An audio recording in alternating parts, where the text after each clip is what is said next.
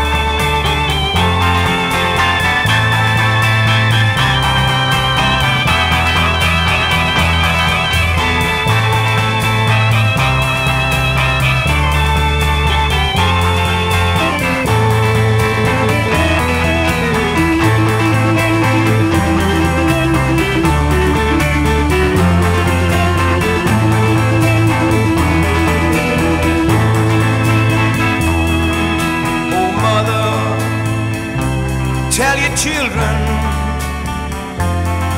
not to do what I have done. Spend your lives in sin and misery in the house of the rising sun.